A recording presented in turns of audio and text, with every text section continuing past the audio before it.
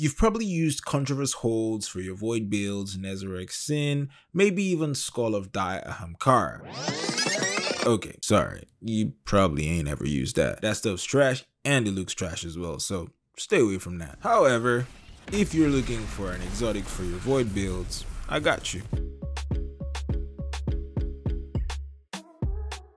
Today's build is a very straightforward and fun one. You just slap it on and whatever your playstyle is, it just works. It has great ad clear ability and best of the best when it comes to healing in the game right now. Let's start with the exotic that makes all this magic happen, the Nothing Manacles. Now I'll be honest with you, first time I saw this exotic, I just thought, an extra grenade? That is not gonna do much for us, but it is an extra grenade still. And it allows me to use these scatter grenades which I call the grapes, which I never touched that thing before. Most of the time I just use Vortex. Since we like spicing things up on the channel, started looking promising.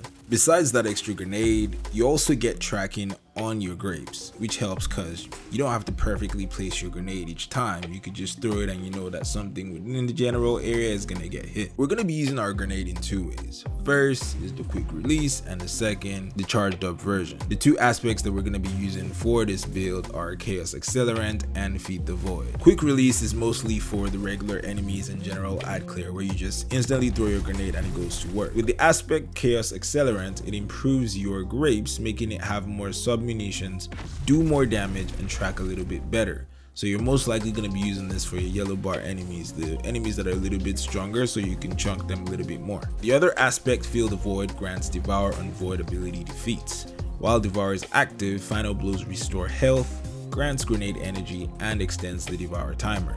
This is basically how we generate our grenade quickly because the amount of energy you get per kill is just insane.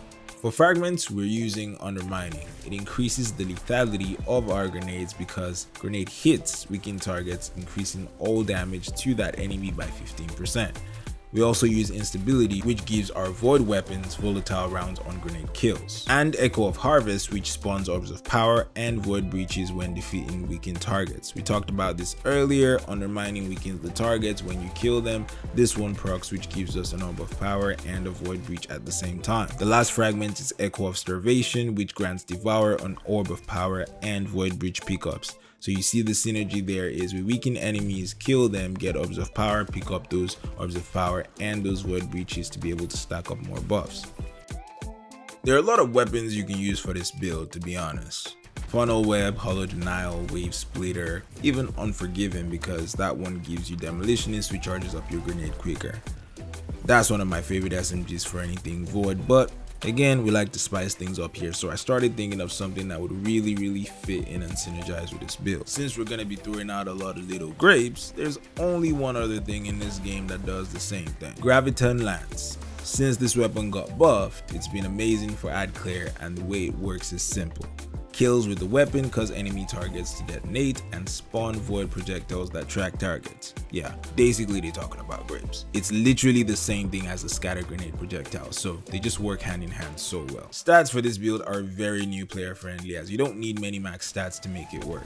Until Bungie decides to change things, we'll keep using max resilience for the best form of survivability. Since we have Devour to take care of all our healing, we don't need to run that much recovery because that's what recovery is for, how fast your health regens whenever you're low. We're also not prioritizing our risk for this build because we want to heal based on our kills, so we're basically going to leave recovery for later. Our second priority stat will be discipline so we can get our grenades as quickly as possible so we can get Devour all the time so we don't need to heal with recovery. My suggestion here would be run max resilience whatever else you can get into discipline run that. And if you can get resilience and discipline to max then you can throw stats into recovery. I normally only state a few important mods for the builds that i make on the channel but i realize not everyone uses dim so i'll put all the mods on the screen right now so you can take a screenshot or whatever you need then I'm going to explain the mods that I feel have the highest impact on the build so you know exactly how they work. On the helmet, we're going to be using Ashes to Assets. This one's really important as it gives chunks of super energy on grenade kills. We're also running Harmonic Siphon on the helmet to generate orbs since whenever we're not getting kills with our grenades, we'll be killing everything with our Graviton Grapes. This way, when our grenades not making orbs, our weapons making orbs. For gauntlets, grenade kickstart and firepower are a must. Kickstart returns our grenade energy when we use it, and firepower makes orbs of power on those grenade kills. For legs, we run stacks and stacks to keep our armor charges up, because with this, every time we pick up an orb of power, it counts as two armor charges instead of just one. Then you can add void surge mods, maybe one or two depending on how many slots that you have left. We'll also run time dilation on the class item to increase how long the buff lasts. This build is simple. Spread the grapes. Use quick release grenades for regular enemies and take some time to charge it for the stronger enemies. If you don't have any nades, just use your graviton to make more grapes until you charge your grenade back up. For those of you who made it all the way to the end, thank you guys so much. I'm happy you enjoyed the video. Hashtag KBAPD in the comments so I know that you heard this. Or you could just leave an emote if that's more your speed. Any form of engagement helps out a ton. Don't forget to leave a like on the video if you enjoyed it and subscribe if you're new and I'll see you on the next one.